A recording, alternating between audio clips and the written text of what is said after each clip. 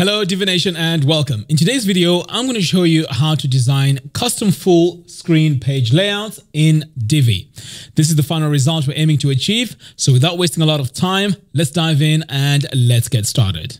Okay, so let's start by creating a brand new page. So I'm going to come over here to pages and click on add new. We need to give this page a title. So I'm just going to name mine custom full screen page layouts, but you can name your page whatever you want. Right, so now that we have this page set up, the next stage now is to come over here to the template and we need to select blank template. So this is to ensure that we don't have the header and the footer on this page. So next we're going to click here on use the Divi builder. The next thing we're going to do now is to go to choose pre-made layout because we are going to choose a layout that has, that has already been created. So I'm going to click here on choose pre-made layout. So now we have the opportunity to browse and choose which layout we need to choose. For this example, we'll be working with the fitness gym layout page. So I'm going to search for it here. Okay, so we have them all right here. So the page that we're going to go with is the pricing page. So I'm just going to click on it and then click on use this layout. Next, we're going to click on build from the front end because I prefer working on the front end builder. So what we're going to do next here is to add a new section. So I'm just going to come over here, scroll down and just find a space to add a new section. So I'm going to click this plus button here, click on regular, and then I'm going to choose my columns and the columns we're going to go with are these ones right here. So I'm going to select them. And then once this is selected, I can either drag this all the way to the top or I can continue working here. But to make things easier for us, I'm just going to drag this all the way to the top. So the next stage is to copy all these modules and add them onto the first column here on the top. So to make things easy for us, instead of dragging them one by one, I'm just going to hold down the command key and then we're going to do what is known as multi-select. So I'm just going to click here to select. So as you can see, I'm selecting everything. So once all is selected, all I have to do is to hold one of these handles and just drag it over here to the first column. Right, so the next stage is going to come over here to the third column and we are going to add a slider. Select it. Right, so by default, we have these two uh, slides. So what we're going to do here, and you can see that we have two because uh, we have these two dots at the bottom and also here we have these arrows for left and right. So these are the two slides. So we don't need two, so we're going to delete one of them. So I'm going to go ahead now and delete them. And you'll notice here that now we don't have a slider. So what we're going to do next is to add an image to the background of this slider. So I'm going to come over here to my slider settings, click on background, and then I'm going to click on the third tab to add my image. So I'm going to click this plus button here. So this is going to take me to my media library. So you can use any images that you'd like to use for, for that background image, but make sure you use a large image. So I'm going to go with this one right here. So I'm going to click upload an image. And in regards to this image here, make sure that you use the image that matches your design. So you can go ahead and use any image that you want. So for now, we're done. Let's go ahead and save. And now it's time to go into my row settings and add my background colors. So I'm going to come over here to my row settings, click on background, and then we're going to go to column to background and add our background color. So I'm going to click this plus button here and paste my hexadecimal value.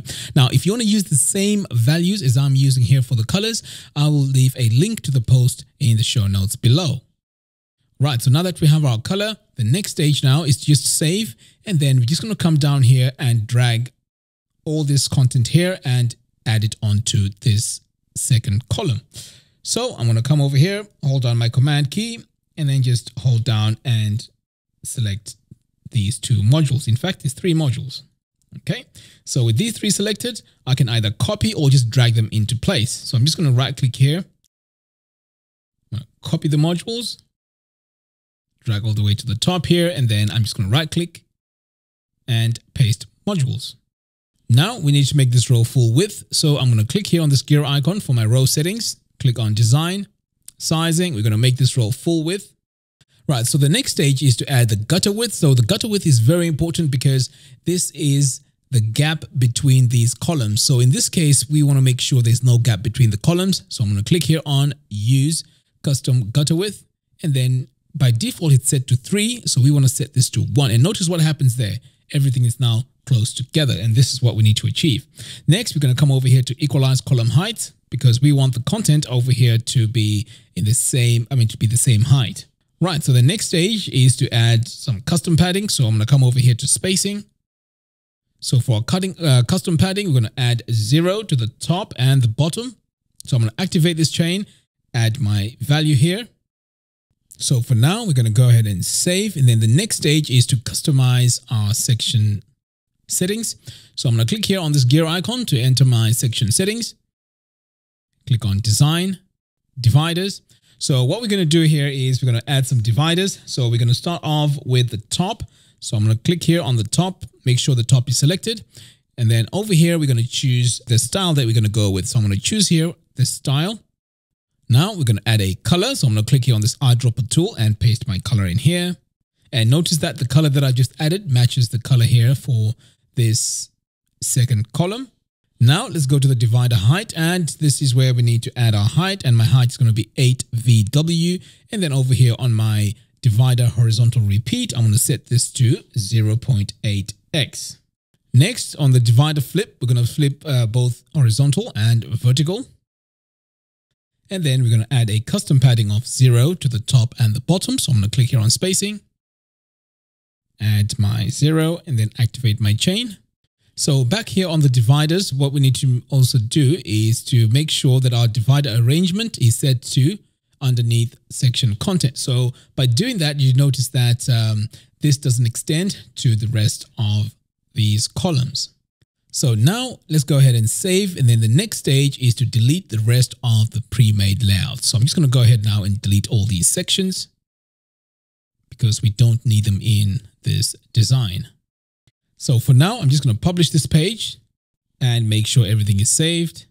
So the next stage now is very important because this is where we get to add our CSS code, which is going to make our page full width. But before we add our CSS code here, we do need to go into our section settings, click advanced, CSS ID and classes, and this is where we need to add.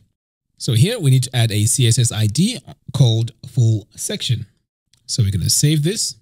And then over here, we're going to go into the slider module. So I'm going to click here on this gear icon, advanced, CSS ID and classes. And again, here we're going to add a CSS ID called full slide. We're going to save this for now. Right, so the next stage now is to add our CSS code. Now this CSS code can be found in the link, which I'll in the post, which I'll link to in the show notes below. So now I'm going to click on page settings and then I'm going to click here on advanced custom CSS. And this is where I'm going to paste my CSS code. Now notice that as soon as I've pasted my CSS code here, everything became full screen and this is beautiful. Now this CSS code that I've just entered only applies to this particular page. So don't worry about this uh, messing up maybe other pages on your website. Right, so with this added, I'm going to go ahead now and save changes. Now it's time to do some final touch-ups. So I'm going to come over here to my row settings, click on design, spacing. So we're going to start with column one padding. So I'm going to come over here and add my value. So this is going to be 12 VH. So notice that when I've, as soon as I've uh, entered my value here, now we can read this text which was hiding behind this divider section. Now here on the left and right, we're going to add one VW. So for column two, we're going to do the same because over here you can see our text is way up there at the top. So for column two, I'm, I'm going to add 12 VH for the top. And notice that everything has moved bottom here. That means slightly lower, which is great. Right, so the next stage is to update our button styles over here on this main slider. So what I'm going to do is I'm going to click here on my module settings, click on design, and then over here on the button, I'm going to copy the button styles, save that, and then over here, I'm going to click on my module settings, design. So first of all, I need to activate use custom styles for button. And then I'm going to right click and paste button styles. Okay, so now we have the same style as we have over here. And then over here, we're going to click here on this paintbrush tool because we need to adjust our heading. So by uh, by default here for the title font, we have it set to default, but we need to change this to Oswald. I'm going to select that. And then over here on the size, we're going to set this to 5 VH. Now, what we need to do next is to add an overlay to this image because as you can see, it's quite bright and our text here is not easy to read. So we're going to add an, a, an overlay. So I'm going to come back over here to content, click on this gear icon, click on design, overlay, and then we're going to click on use background overlay. So as soon as I've activated this, you can see now that we have a color here that has been added to our image. So we can further customize this by coming over here and then we can play around with the colors here. So as you can see, uh, when I slide, when I click this slider, I can actually change the intensity of that overlay. And what we could also do is to add a specific color to this overlay. So I'm going to paste my color in here like that. And then I'm going to start dragging this slider to get my overlay.